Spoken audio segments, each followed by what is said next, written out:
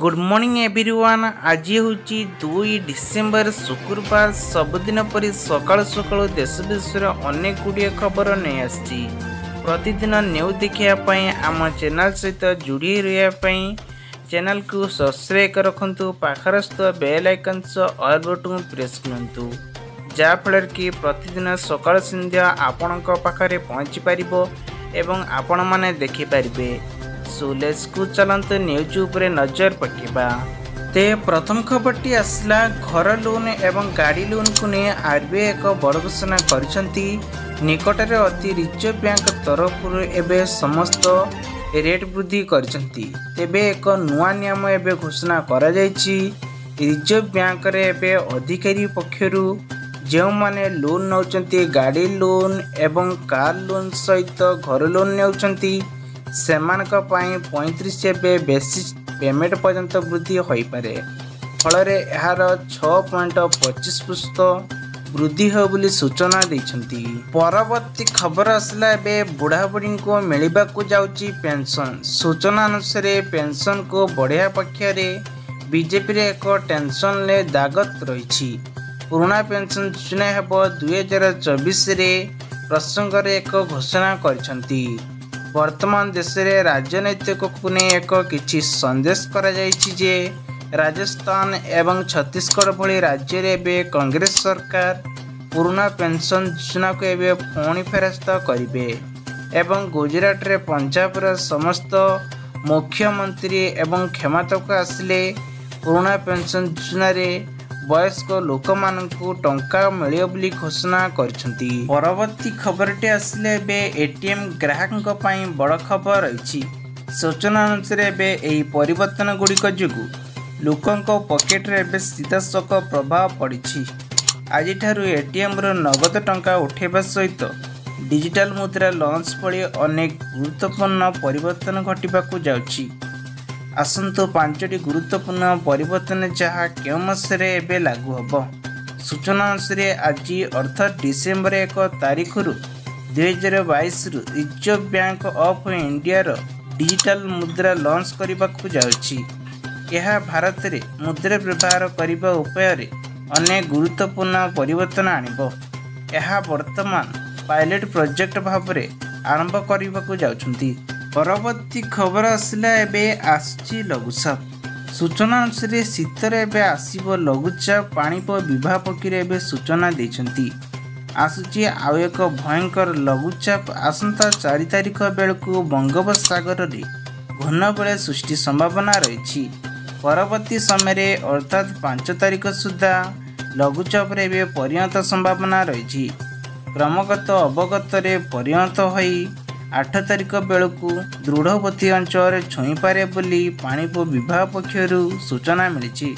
ପରବର୍ତ୍ତୀ ଖବର ଆସିଲା ଏବେ ଇ ଶ୍ରମିକ କାର୍ଡଧାରୀଙ୍କ ପାଇଁ ଏବେ ଏକ ହଜାର ଟଙ୍କା ପ୍ରଦାନ କରିବାକୁ ଯାଉଛନ୍ତି।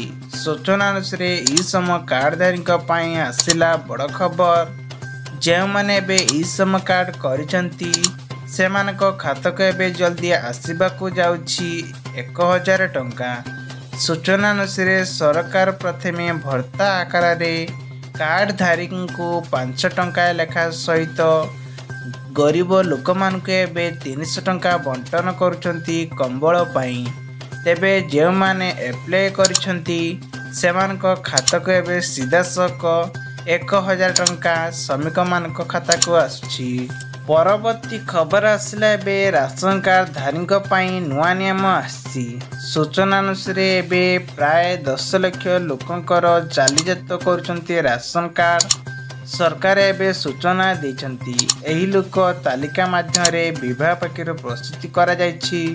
ବର୍ତ୍ତମାନ ଏହି ସମସ୍ତ ଲୋକଙ୍କ ରାସନ କାର୍ଡ ବାତିଲ ହୋଇଯିବ। ଯେଉଁ ରାସନ ଅଧିକାରୀମାନେ ପାଖାପାଖି ଦଶ ଲକ୍ଷ ଲୋକମାନଙ୍କର କାର୍ଡ ଏବେ ଚିହ୍ନଟ କରାଯାଇଛି ଅଯୋଗ୍ୟ ବୋଲି। ସୂଚନା ଅନୁସାରେ ଏନ୍ ଅନୁଯାୟୀ କାର୍ଡଧାରୀ ଏବଂ ଆୟକରି ଦେଉଥିବା କିମ୍ବା ଦଶରୁ ଏବେ ବଡ଼ ଜମିଆ ଲୋକମାନଙ୍କ ପାଇଁ ନାମ ତାଲିକା ଏବେ କଟାଯିବ। କେବଳ ଏତିକି ନୁହେଁ ଏହିପରି ଲୋକମାନଙ୍କୁ ମାଗଣା ରାସନ ମଧ୍ୟ ପାଇପାରିବେ ନାହିଁ। ସେମାନେ ଅନେକ ଅଧିକାରୀଙ୍କୁ ଯେଉଁମାନେ କାର ଅଛି ଏବଂ ସେମାନଙ୍କର ବଡ଼ ବଡ଼ ବିଲ୍ଡିଂ ରହିଛି। ବ୍ୟବସାୟ କରୁଛନ୍ତି ଏବଂ ପନ୍ଦର ହଜାର ଟଙ୍କା ଅଧିକ ଇନକମ୍ କରୁଛନ୍ତି ମାସିକ ଆୟ। ତ ସେମାନଙ୍କର ରାସନ କାର୍ଡ଼ ବନ୍ଦ ହୋଇଯିବ। ତେବେ ପରବର୍ତ୍ତୀ ଖବର ଆସିଲା ଏବେ ହ୍ୱାଟ୍ସଆପ୍ରେ କଲ୍ କଲେ ଦେବାକୁ ପଡ଼ିବ ଟଙ୍କା। ନୂଆ ଫ୍ୟୁଚର ଏବେ ବ୍ୟବହାର କରିବା ପାଇଁ ଗ୍ରାହକମାନଙ୍କୁ ଆସିଛି। ଫ୍ୟୁଚରରେ ଏବେ ହ୍ୱାଟ୍ସଆପ୍ରେ ଏବେ ସୁବିଧା ମିଳିବ। କମ୍ପାନୀ ଏବେ ଦିନକୁ ଦିନ ଏବେ ନୂଆ ନୂଆ ଫ୍ୟୁଚର ବାହାର କରିଛି। ସୂଚନା ଅନୁସାରେ ଏବେ ହ୍ୱାଟ୍ସଆପ୍ରେ ଏବେ ମେସେଜ ପଠାଇବା ସହିତ ଏବେ ମଧ୍ୟ ଭିଡ଼ିଓ କଲ୍ କଲେ ଆପଣଙ୍କୁ ଚାର୍ଜ ଦେବାକୁ ପଡ଼ିପାରେ। ପରବର୍ତ୍ତୀ ଖବର ଆସିଲା ପୂରଣ ହେବ ଷାଠିଏ ହଜାର ଶିକ୍ଷକ ପଦ୍ଧତି। ସୂଚନା ଦେଲେ କେନ୍ଦ୍ରୀୟ କର୍ମଚାରୀଙ୍କ ତରଫରୁ ଏବେ ସବୁ ଶିକ୍ଷା ମନ୍ତ୍ର ଅଧୀନରେ ଥିବା କେନ୍ଦ୍ରୀୟ ବିଶ୍ୱ ସଂଗଠନ ନେଇ କେଭିଏସ୍ରେ ଖାଲି ପଡ଼ିଥିବା ପ୍ରାଇମେସନ୍ ଶିକ୍ଷକ ପଦ୍ଧତିଗୁଡ଼ିକରେ ବିଭକ୍ତି ଜାରି ରହିଛି। ସିଧାସଳଖ ଭାବେ ବିଭିନ୍ନ କେନ୍ଦ୍ରୀୟ ବିଦ୍ୟାଳୟରେ ଏହି ପଦ୍ଧତି ପୂରଣ ହେବ। ଜାରି ହୋଇଥିବା ନୋଟିସ୍ କୁହାଯାଇଛି ଯେ କେନ୍ଦ୍ରୀୟ ବିଦ୍ୟାଳୟ ସଂଗଠନ ଖାଲି ପଡ଼ିଥିବା ପ୍ରାଇମେରୀ ଶିକ୍ଷକ ପଦ୍ଧତି ପାଇଁ କେବିଏସ୍ର ଆବେଦନ ପ୍ରଦାନ ଆବେଦନ କରାଯାଇଛି। ସୂଚନା ଅନୁସାରେ ବଡ଼ ନିଯୁକ୍ତି ଅନୁଯାୟୀ ପୂରଣ ହେବ। ଛଅ ହଜାରରୁ ଅଧିକ ଶିକ୍ଷକମାନେ ଏଥିରେ ଚାକିରି ପାଇବେ। ପରବର୍ତ୍ତୀ ଖବରଟି ଆସିଲା ଏବେ କଲେଜରେ ଛାତ୍ରଛାତ୍ରୀଙ୍କ ପାଇଁ ବଡ଼ ଖବର ରହିଛି। ସୂଚନା ଅନୁସାରେ ସବୁ ପରୀକ୍ଷା କେନ୍ଦ୍ରରେ ଲାଗିବ ସିସିଟିଭି କ୍ୟାମେରା। ଭିଜୁଆଲ ହେବ ଏବେ ସିଧା ପ୍ରସାରଣ। ସିଏଚ୍ଏସ୍ଏସ୍ର ଅଫିସରେ ଏବେ ଅନୁମୋଦନ କରିଛନ୍ତି ସ୍କାଡ୍। ସୁଇମ୍ ଏବଂ ଅନୁମୋଦନ ପ୍ରଣୟନକୁ ନେଇ ନିୟମିତ ହେବ ସିଏଚ୍ର ମାଧ୍ୟମିକର ଶିକ୍ଷା ପରିଷଦ। ପ୍ଲସ୍ ଟୁ ପରୀକ୍ଷା ଏବଂ ସି ଏଚ୍ ପକ୍ଷରୁ ଯୁକ୍ତ ଦୁଇ ପରୀକ୍ଷା ପରିଚୟନ ପଦ୍ଧତିରେ ଟେକିଂ ଏବଂ ପରିଚୟନ ହେବାକୁ ଯାଉଛି। ବ୍ୟବସ୍ଥାରେ ସଂସ୍କାର ଏବଂ ଅଣାଯାଇଛି ଯେ ଛାତ୍ରଛାତ୍ରୀମାନେ ପରୀକ୍ଷା ଦେବା ବେଳେ ସ୍କୁଲ ଓ ଗଣେଶ ବିଭାଗ ପକ୍ଷରୁ ଏକ ନୂଆ ନିୟମ ଅନୁଯାୟୀ ସବୁଠି ସିସିଟିଭି କ୍ୟାମେରା ଲାଗିବ ସିଧା ପ୍ରସାରଣରେ ଦେବେ ପରୀକ୍ଷା। ପରବର୍ତ୍ତୀ ଖବର ଆସିଲା ଆର୍ବିଆଇର ବଡ଼ ଘୋଷଣା। ସୂଚନା ଅନୁସାରେ ଆଜି ଡିସେମ୍ବର ଏକରେ ଲଞ୍ଚ ହେବ ଭାରତରେ ଖୁଚୁରା ଡିଜିଟାଲ ଟଙ୍କା। ସୂଚନା ଅନୁସାରେ ଭାରତୀୟ ରିଜର୍ଭ ବ୍ୟାଙ୍କ ଅଫ୍ ଇଣ୍ଡିଆ ମୁଦ୍ରା ଡିଜିଟାଲ ଟଙ୍କାକୁ ନେଇ ଏକ ବଡ଼ ଘୋଷଣା କରିଛନ୍ତି। ଆର୍ବିଆଇ କହିଛି ଯେ ଡିସେମ୍ବର ଏକରେ ଖୁଚୁରା ଡିଜିଟାଲ ଟଙ୍କା ଇଆର୍ ପ୍ରାଥମିକକୁ ନେଇ ବେଞ୍ଚ ଲଞ୍ଚ କରିଛି। ଡିଜିଟାଲ ଖୁଚୁରା ଓ ପ୍ରାଥମିକ ବ୍ୟାଙ୍କରେ ଲଞ୍ଚ ହେବା ସହିତ ଇଆର୍ରେ ଏକ ଡିଜିଟାଲ ଟୋକନ ରୂପେ ଲଞ୍ଚ ହେବ।